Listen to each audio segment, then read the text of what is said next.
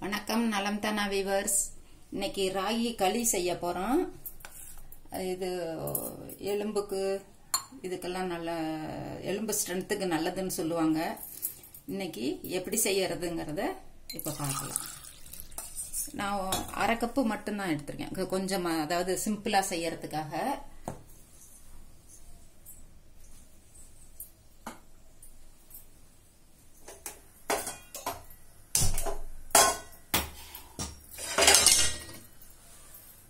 செஞ்சு எப்படி காமிக்கணுங்கிறதுக்காக செய்யறோம். அதுக்காக அரை கப்பு மாவு மட்டும்தான் எடுத்துருக்குறேன்.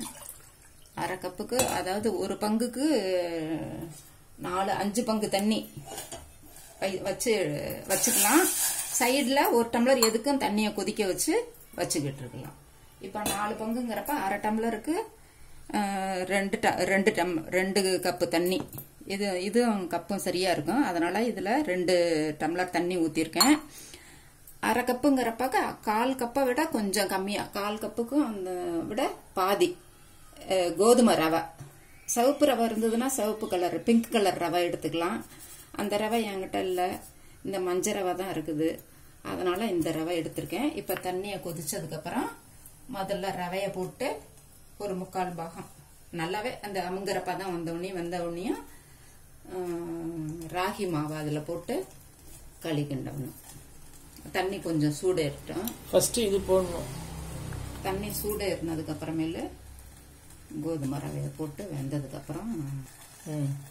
நல்லா கொதிக்கட்டும்.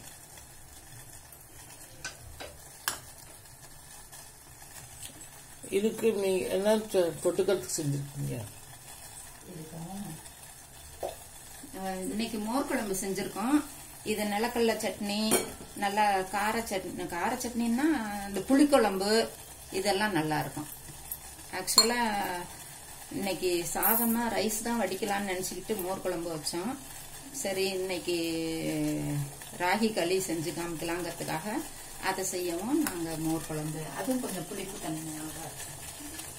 இப்போ இந்த சம்பா ரவாயை தண்ணி கூச்சிருச்சு. இப்போ சம்பா ரவாயை அதில் போட்டுருவோம்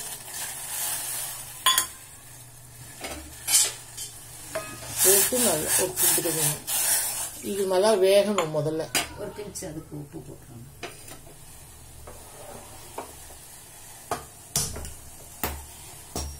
இதுக்கு களிக்கும் இதுக்கும் சேர்த்து உப்பா? இது கொஞ்சம் மட்டும் இதுக்கு மட்டும்.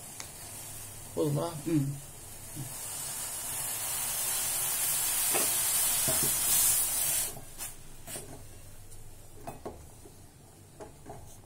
இது நல்லா வேகணும்.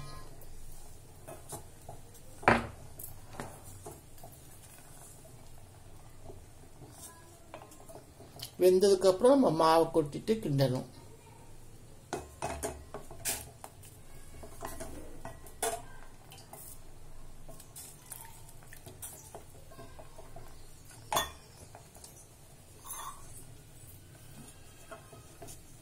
இதுக்கு தொட்டுக்கிறதுக்கு ஊற்றி சாப்பிட மோ மோர் குழம்பு.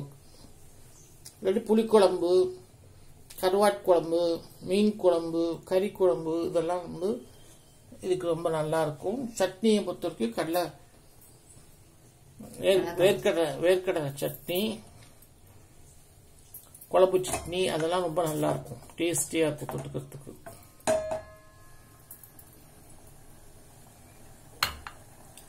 இது நல்லா வேகணும். பொறுமையாக வேகும். நம்ம கொஞ்சம் வே வே வே- வேகிற வரைக்கும் வெயிட் பண்ணணும். வெந்ததுக்கு அப்புறம் இந்த மாவை அதில் எடுத்து போட்டு போட்டுட்டு அப்படியே குத்தி விட்டுடணும் குத்தி விட்டுட்டு அப்படியே போட்டுக்கணும்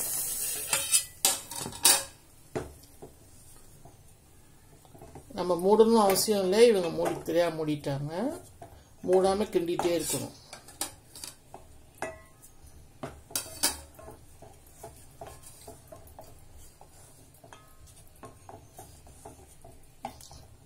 சீக்கிரம் இது வெந்துடும் சம்பா கோதுமை எல்லாம் வந்து ரவாயெல்லாம் எல்லாம் சீக்கிரம் வந்துடும்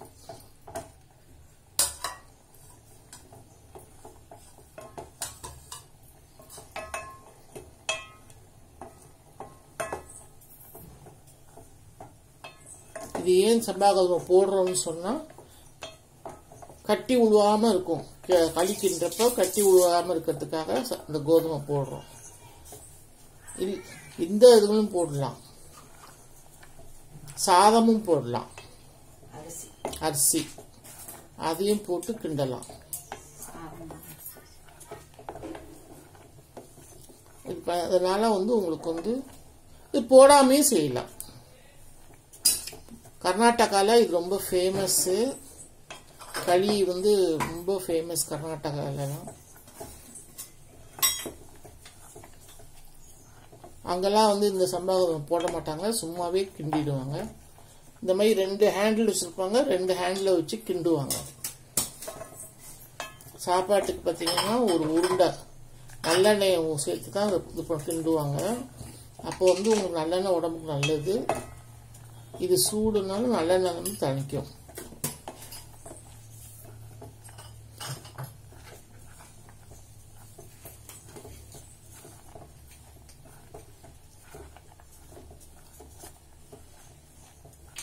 டயபிட்டிஸ் பீப்புளுக்கு இந்த களி ரொம்ப நல்லது உடம்புக்கு. அதுவும் இல்லாமல் மத்தியானம் சாப்பிட்டோம்னா வயிறு வந்து கேஸ் ஃபார்மேஷன் நல்லா திம்முன்னு இருக்காது. நல்லா வயிறு பொல பொலன்னு இருக்கும்.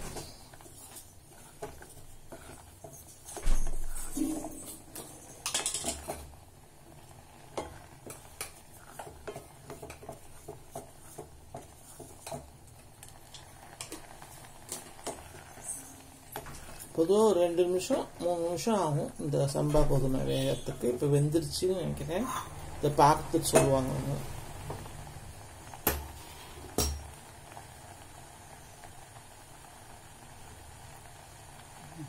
வந்துருச்சு. இன்னும் கொஞ்சம் ஆகும்.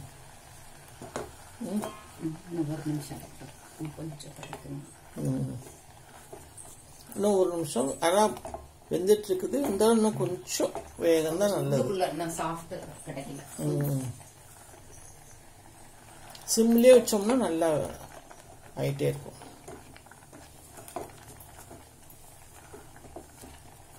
இதுக்கு வேண்டி உப்பு போட்டுக்கோங்க. போதும். களிக்கு பொதுவாக உப்பு போட மாட்டாங்க. ஏன்னா குழம்புல வந்து சு- சுள்ளுனுக்கு தொட்டு நம்ம அதுக்கு போடுறது இல்லை வேணாலும் போட்டுக்கலாம். அது அவங்க இஷ்டம்.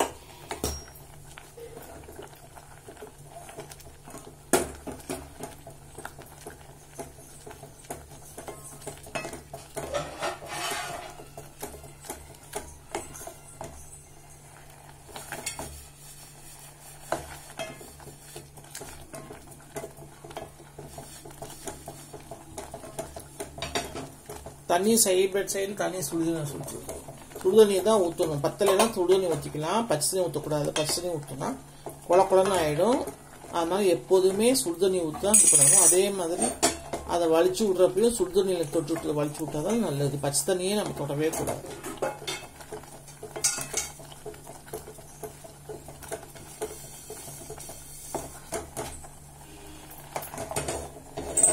பாருங்க நல்லா வெந்துருச்சு.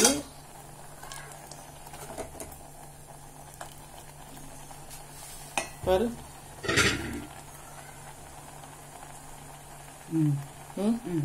இப்போ மாவு போட போறாங்க. பாருங்க. இப்போ ராகி மாவை அப்படியே ஸ்ப்ரெட் பண்ணாப்புல. போட்டு அப்படியே குத்தி குத்தி விடணும். இப்படி இப்படி குத்தி விடணும். கிண்டக்கூடாது இப்படி குத்தி விடணும்.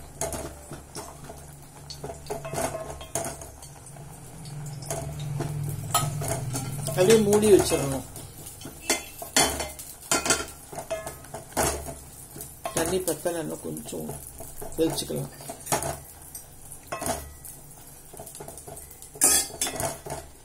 கரண்டியில் வச்சு ஊத்து.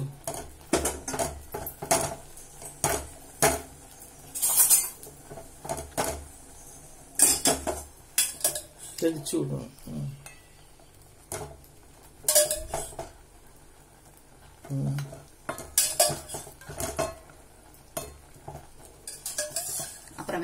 ஊற்றிக்கலாமா இந்த சைடு சரி. போதும். போதும் போதும்.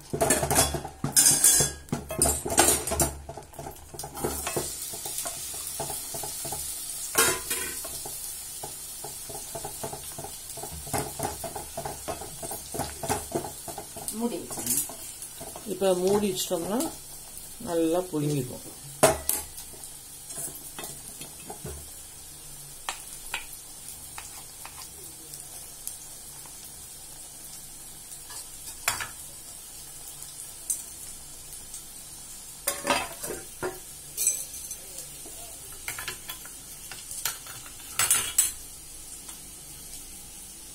இப்பயே பாருங்க நல்லா அப்படி உருண்டுட்டு வருது பாருங்க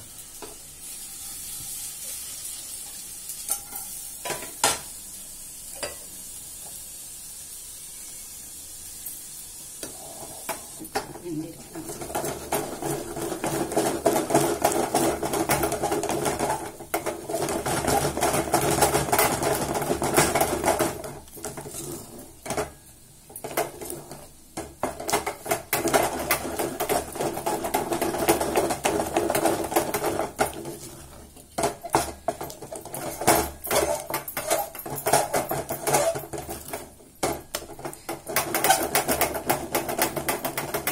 நல்லா கிளற கிளற உங்களுக்கு வந்து எல்லாம் திரண்டு வரும் நல்லா.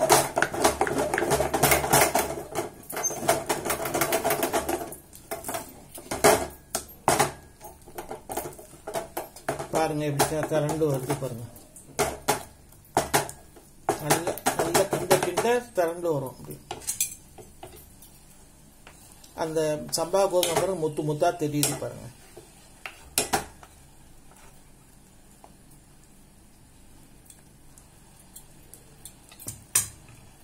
வெந்துருச்சு வெறும் மாவு தான் இப்படி தண்ணியை தொட்டு பார்த்துக்கிட்டு இப்படி தொட்டோம்னா சத்தமா சொல்லுங்க. சொல்லுங்க. நீ மெதுவா தொண்டைக்குள்ளே போயிட்டா சாதல உருவாக்குல்ல ம். எப்படி வெந்துருச்சுன்னு தெரியும்? பச்சை தண்ணிய கையில தொட்டுக்கிட்டு சுடுதண்ணி. கையில இப்படி தொட்டுக்கிட்டு இப்படி தொட்டு பார்த்தோம்னா கையில ஒட்டாம வரும். ஈரப்பச குடல்ல தொட்டு பார்த்தோம்னையும் கையில ஒட்டல. ம். வெந்துருச்சுன்னா நல்லா புழுங்கட்டும் இன்னும் கொஞ்ச நேரம். விட்டோம்னா இன்னும் நல்லா கொஞ்சம் கெட்டியாயிடும். அதுக்கப்புறம் உருட்டி தட்டில் போட்டு குழம்பு நீங்களா பேசிக்காதீங்க. வீடியோ ஓடிட்டு இருக்கு. சத்தமா பேசணும். அங்க தெரியுது ம்.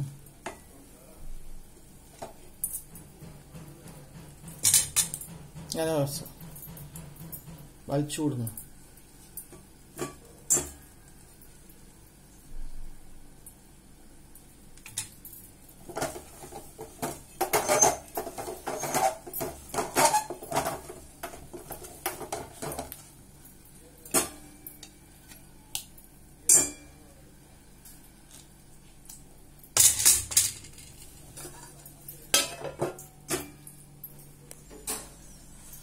பாருங்க ஆயிடுச்சு. நல்லா இப்ப திரண்டு வந்தது. இப்போ நம்ம வந்து உருண்டையா பண்ணிக்கலாம்.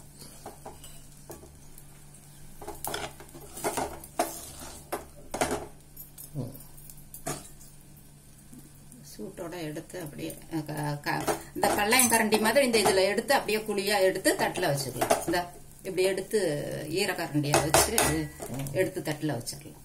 வைக்க வச்சு காமிக்கிட்டுமா? தட்டில் அப்புறமேட்டு வச்சு காமிச்சுக்கலாம். சொல்லு நீங்களும் செஞ்சு பாருங்க. இது ஈஸியானது தான் உடம்புக்கு சத்தானதும் கூட. ரொம்ப செய்யாட்டி கூட கொஞ்சமா செஞ்சு சாப்பிட்டுக்கிட்டோம்னா நல்லது. இது இதுலயே தயிரும் ஊத்தி கூட சாப்பிடலாம். தயிரும் ஊத்தி ஊறுகாய் தொட்டுக்கிட்டு சாப்பிடலாம். எந்த விதமான கார சட்னி கார குழம்புங்க இதுக்கு ரொம்ப மேட்சிங்கா இருக்கும். இது கொஞ்சம் சப்புன்னு இருக்கிறதுக்கு அது கொஞ்சம் சுள்ளுன்னு இருக்கும். அதே சமயத்துல இதுல நல்லெண்ணெய் நல்லெண்ணெய் ஊற்றி அப்படியே நம்ம வந்து உருண்டை உருட்டி வச்சுக்கணும். ஒவ்வொருத்தருக்கும் ஒரு கொஞ்சம் ஊத்தி இதுலயே கிளறிட்டுமா ம்.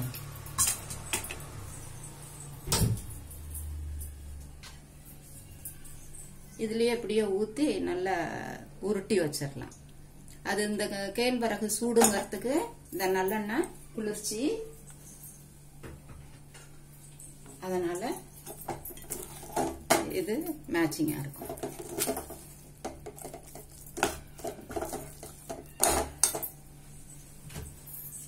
அனந்தமா சேனலுக்கு சப்ஸ்கிரைப் பண்ணுங்க. நீங்களும் செஞ்சு பாருங்க. வேற ஒரு வீடியோவில் உங்களை சந்திக்கிறோம். குழம்பு காமிக்கிறேன். இங்கே பாருங்க. நல்லா உருட்டி செய்யணும். இப்படி. ம்.